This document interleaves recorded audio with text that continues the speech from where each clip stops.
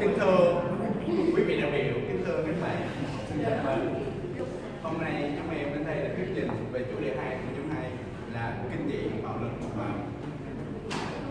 và kinh dị bạo lực và mạnh à, em là hoàng gia bảo sinh lớp 11 a 8 chủ nhiệm khóa 2018 2019 xin kính chào quý vị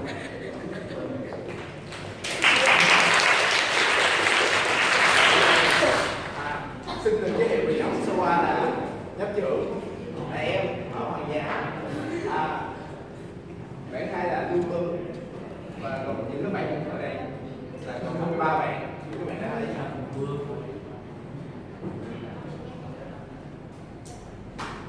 sau đây là khép lại thông tin sách vở lực là tâm lý con người thay đổi sự kiềm nén và không phát huy quyền lực của mỗi người đã kích thích thúc đẩy làm cho bạo lực lên ngôi. Tình trạng căng thẳng stress hiệu ứng spectral neural đó là những đó là một số các thông tin để kích thích bạo lực. Vậy à, uh, hướng nè thì bà hỏi cái điều vấn đề thì à, hồi đó bây giờ Tuấn có coi những phim gì hay là những bộ như là những bộ phim gì về lực không có? À, Tuấn này kể cho bạn ở đây là phim gì không ạ? Annabelle anh đã kéo à, phim à, xác sống phim à, lời nguyền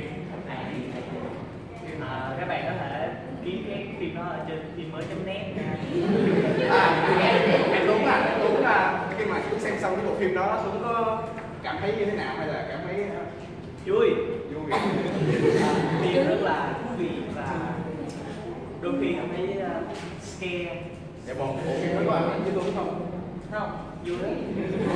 vâng đó là những vấn đề của uh, tác hại của âm kinh dị với uh, ở đây các bạn có thấy là đây là một dạng thuốc chỉ là một cái vấn đề để kích thích bạo lực thôi. Nó ham là dạ. các bạn có thấy là cái cái sàn đấu này là đấu căng thẳng có thể giết chết người. Và cái nếu, nếu như mấy bạn xem nhiều thì nó sẽ nói đến vấn đề về bạo lực.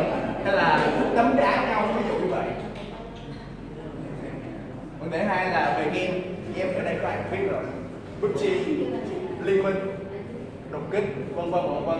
Và những cái bộ game này nếu mà mình chơi nhiều quá thì nó sẽ dẫn đến là mình cảm thấy như là não tưởng có thể cầm dao giết ba mẹ hoặc là có thể là súng. Giết bạn vấn đề ba là về phim phim thì ôi vấn đề này rất là nổi tiếng với các bạn nữ. Chạy phim hay là hành động, chạy phim ờ, chạy phim bước án với bạn nữ và hành động với mấy bạn nam. Và có thể kể đến đây là bộ phim vừa người vận chuyển đang nổi tiếng rất là hiện nay. Giết người bắn súng, trả thù cho gia đình rất là nhiều bình thường này và một vấn đề rất là quan trọng. Vậy à, vấn đề này tại sao nó là quan trọng là vì à, những bộ phim này hay là những cái môn thể thao này sẽ không được biết đến nếu như mà công sự quảng cáo của à, cộng đồng và những người nổi tiếng. Như bạn thấy đây là Taiwan quảng cáo cho một cái game bắn súng Mobi 360 độ. Và có thể thấy là đây là review một chàng gaming trên ờ, uh, livestream những uh, game và có thấy là những cái cái vấn đề mà cái thích bạo lực sẽ được được mọi người biết đến nhưng mà nhờ có quảng cáo và đây là một cái một số hình ảnh một số ví dụ công tác hại của ờ, bạo lực. Đây là vụ giết người ở điện máy xanh là nhân viên công chức quản lý. Và đây là vụ uh, thiếu tiền thì game có chiếc loài và đây là bộ ông già ông già 49 tuổi. Sau năm lần có án tù vì uh, thiếu tiền. Chơi game Rồi, đây là phần tác hại À, tác hại của việc ờ, lạm dụng những phim kinh dị, cái game kinh dị và những vấn đề kích thích thần kinh theo các chuyên gia y tế hầu hết chúng ta khi xem phim cái gì đều cảm thấy rất tóc gáy hoặc là lạnh xương sống nhưng chính những cảm giác sợ hãi này có thể dẫn đến đau máu và không thể tốt cho sức khỏe nghiên cứu được tiến hành trên 25 người ở độ tuổi trên 30 trong đó một nhóm người được yêu cầu xem phim kinh dị trước, sau đó xem một bộ phim bình thường khác. Và nhóm còn lại được yêu cầu xem phim bình thường trước, rồi sau đó xem phim kinh dị. Sau mỗi lần xem xong phim, sau một bộ phim, các nhà nghiên cứu sẽ tiến hành lấy xét nghiệm. Mẫu máu cụ thể hơn. Khi xem phim kinh dị, mẫu máu của những đối tượng trên đều có nhiều cục máu đông hơn trong khi xem phim bình thường. Mẫu máu của họ hoàn toàn bình thường. Các nhà nghiên cứu đã kết luận rằng, kết luận rằng sự sợ hãi có thể dẫn đến tình trạng đông máu. Mặc dù không biết người trong chúng ta thường thích cảm giác hồi hộp, sợ hãi khi xem phim kinh dị nhưng đây là thói quen không thể lành mạnh. Đây cũng là nguyên nhân vì sao chị em thường bị cấm xem phim kinh dị. Các chuyên gia cũng cảnh báo, xem phim kinh dị một mình có thể gây sốc ảnh hưởng nghiêm trọng đến sức khỏe, thậm chí nguy hiểm đến tính mạng. Do đó, chúng ta cần hết sức cân nhắc trước khi xem phim. Này, xem thể loại phim này và tốt nhất, không nên xem một mình. Đồng thời, nên xem những bộ phim có nội dung tích cực, thư giãn hoặc tham gia vào các hoạt động khác có tính giải trí để giúp tinh thần thoải mái hơn. À vâng quay lại à, vâng là bây giờ đó là phần đặt câu hỏi của nhóm của mình đối với uh, cộng đồng mà uh, này à, vậy bạn nào có thể cho mình biết là tác hại của việc xem phim kinh dị và những uh, bộ phim về bạo lực? Là gì? Thì đưa kiến của bạn. À, mời Hương lão bạn hãy cho chúng tôi biết được không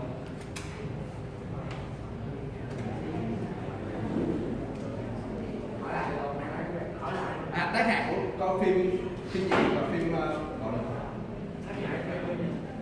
sẽ gây máu đông đứt kinh gây cảm giác sợ hãi tôi cảm ơn à, và bạn Phúc Huy bạn hãy cho chúng tôi biết sau mỗi lần bạn coi phim kinh dị nó sẽ cảm như thế nào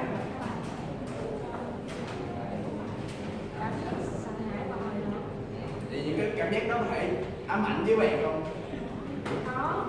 Là thì bạn có thể cho tôi biết là một tuần hai tuần hay là một ngày? Cái cái ám ảnh đó dày dặt cho bạn. Một ngày. Một ngày. Thôi chỉ có thể bạn có lướt qua thôi. Vâng. À, rồi câu hỏi hai mình muốn đặt ra với các bạn là chúng ta cần làm gì để uh, có cuộc sống tích cực mà không nhờ vào phim kinh dị hoặc là những bộ phim ám ảnh à, xin mời bạn Nguyễn Thùy Tố Chi mời bạn nói chi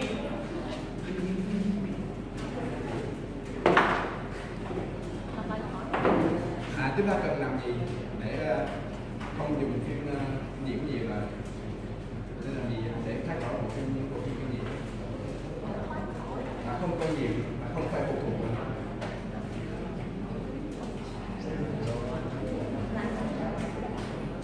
những hành động tích cực rất là nên làm À, những hành động tích cực thôi. thì đừng ờ, đừng nên quan tâm những trang web như là phim hành động phim kinh dị với lại là nên ờ, đặt đặt ờ, đặt tiêu chí đầu tiên của mình khi xem phim là nên cân nhắc mình trước là có nên xem một phim đó hay không cảm ơn bạn Vâng. vòng trên trình của chúng em đến đây là kết thúc. Xin kính mời các bạn lắng nghe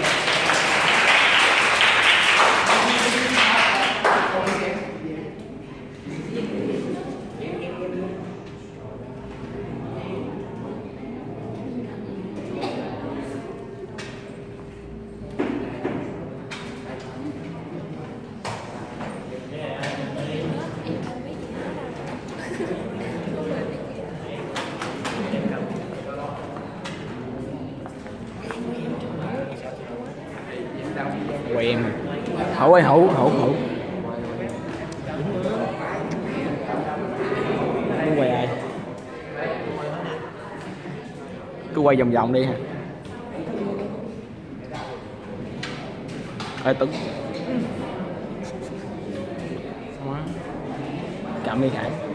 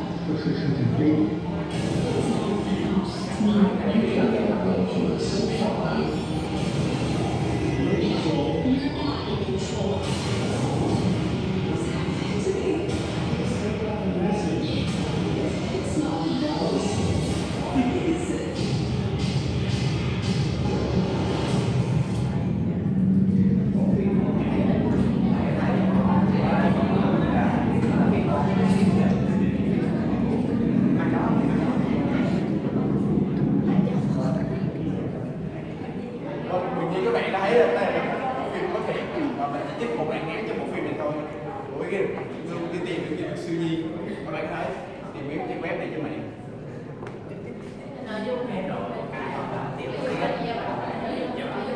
siêu nhiên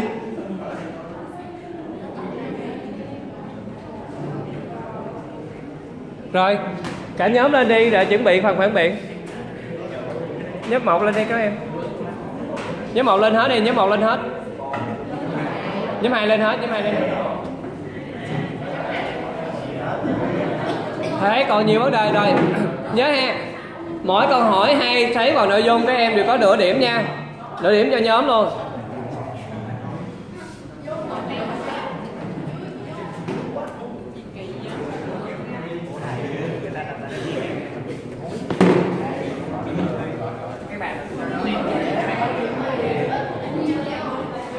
người ta đi nào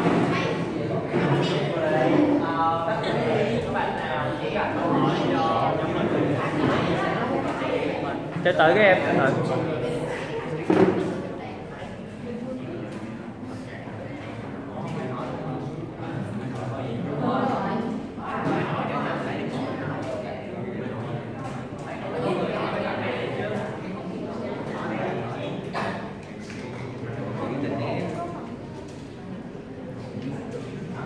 Rồi các bạn có câu hỏi nào không?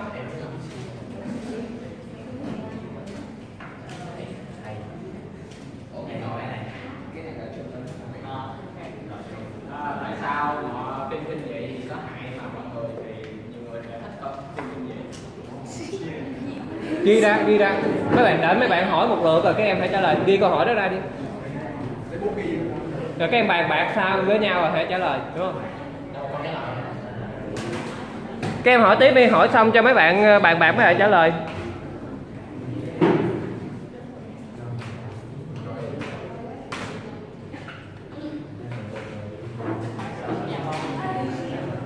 Ngọc Trà hỏi là thì thì người ta nói là có phim kinh dị giảm cân được tại sao lại giảm cân được nhưng mà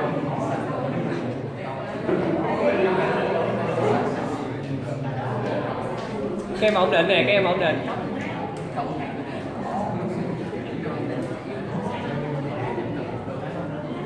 còn ai có câu hỏi nào không ạ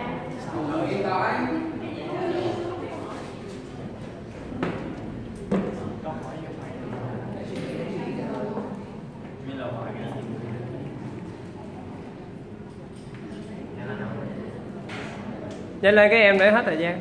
Còn nhóm khác nữa. Ờ,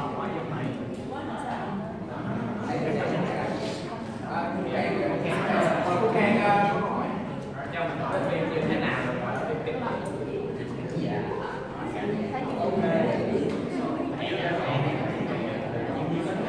Huyền My nó hỏi Huyền My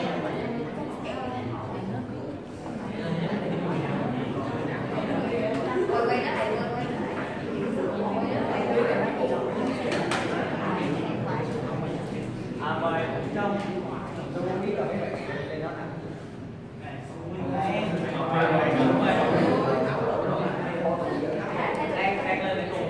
Ông này một điểm. Trừ nhóm này một câu.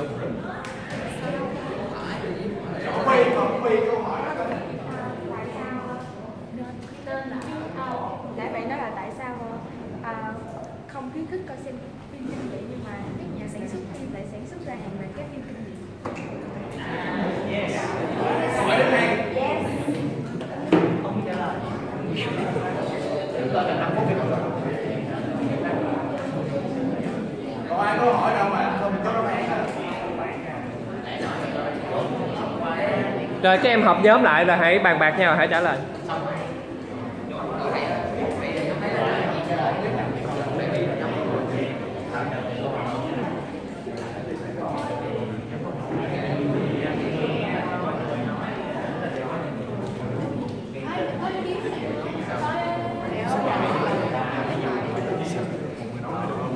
Một người để cho nó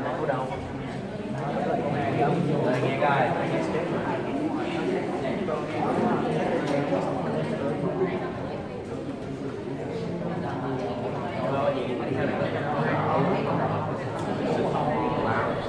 Vậy là câu một câu hai xong đi ha. Câu một là đáp án câu hai là câu hai nha câu ba câu hai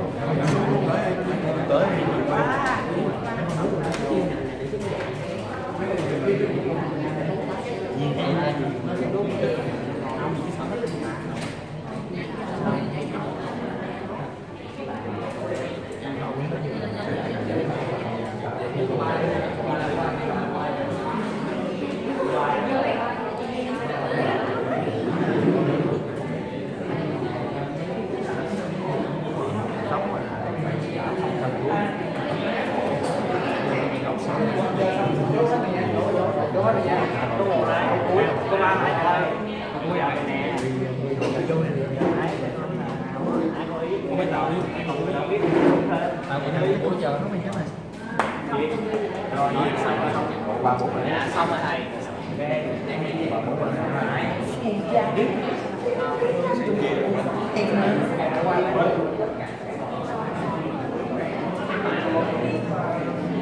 vâng cho chúng em đã nói xong bây giờ em em sẽ trả lời câu một của bạn ờ, Phan đặt ra cho nhóm là tại sao sở phim kinh dị mà vẫn xem À, sau đây các bạn sẽ giải đáp cho câu hỏi của Ken và các bạn cùng nghe. Tại vì khi mà xem phim chương trình chúng ta sẽ có những tình huống hồi hộp gây cấn giúp cho tăng sự kích thích độ tò mò của người xem nên rất nhiều người muốn xem phim gì xem phim gì thì các bạn có thấy ý kiến này được không? Được. À, câu hai mình trả lời cho bạn à, Trầm là tại sao có phim kinh dị mà lại là không? Có câu trả lời.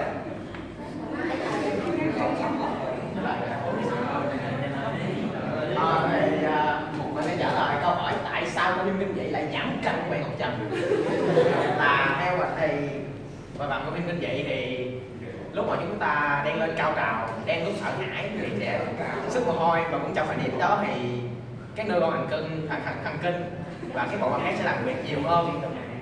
Tim đập mạnh làm giảm cái lượng calo trong cơ thể. Và cứ ngày qua ngày chúng ta mà coi như vậy thì nó sẽ làm giảm giảm cân rất hiệu quả. Thì mình xin bổ sung thêm ý kiến các bạn. À, Mong muốn là mà một bộ phim cái gì mà các bạn coi là 3 phút thì có thể là coi như là các bạn bằng chạy một giờ chạy liên tục trong một giờ ví dụ là coi một phim kinh dị 3 phút thế nhà khoa học chúng tôi đã chứng minh rõ là có là có là thì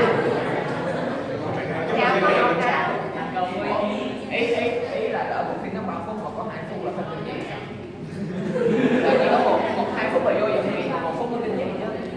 Cái đó là khoa học đã chứng minh là chơi À, số đầu số đầu số- số- số đầu. bạn đã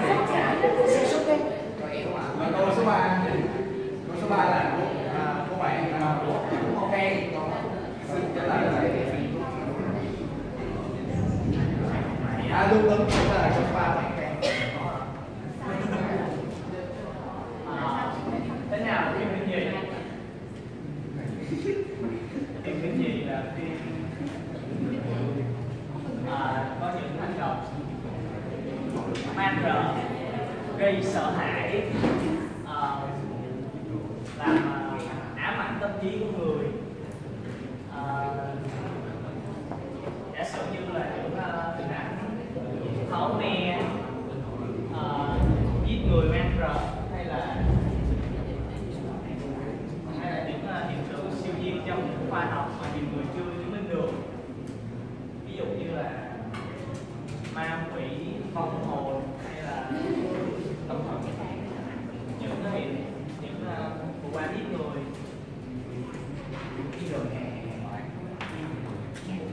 phim kinh dị hả phim kinh dị là phim có những nội dung như mình đã nêu ở trên.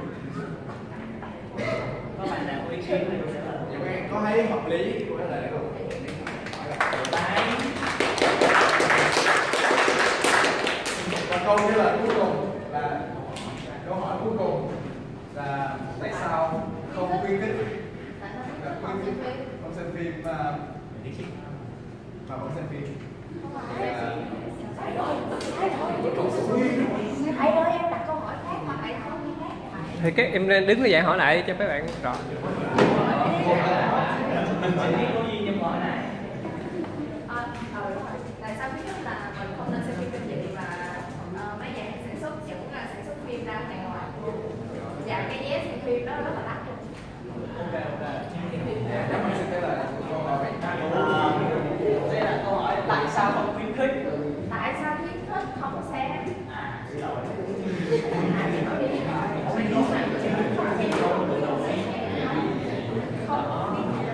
Duyên ơi ok chưa ok Trả lời. tại sao khuyến khích không xem phim kinh dị Ờ, đi bỏ theo là sự khuyến khích là sự ờ,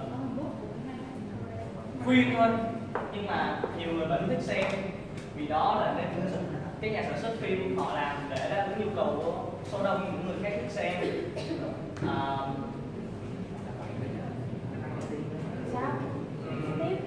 để ờ, mọi người giải trí thôi. Ờ, xin bổ sung ý kiến của bạn Phương Tuấn là là vì là do kinh phí của một phim gì rất là đắt. Nên với lại là nhiều người rủ nhau coi hay là rủ bạn bè cùng coi cho nó vui. Với lại là cho thể hiện là sự mạnh mẽ cho mình như là cái tôi. Và điều đó thì thì làm cho bộ phim kinh nó sẽ càng hot thêm. Và chi phí nó rất là cao vì một bộ phim này. À, những bộ vì thế nên bộ phim kinh dị không ít được coi nhưng mà nó vẫn được coi là vì ờ, vậy. Là do thanh tố chào luôn. Ờ, các bạn có phản biện gì thêm không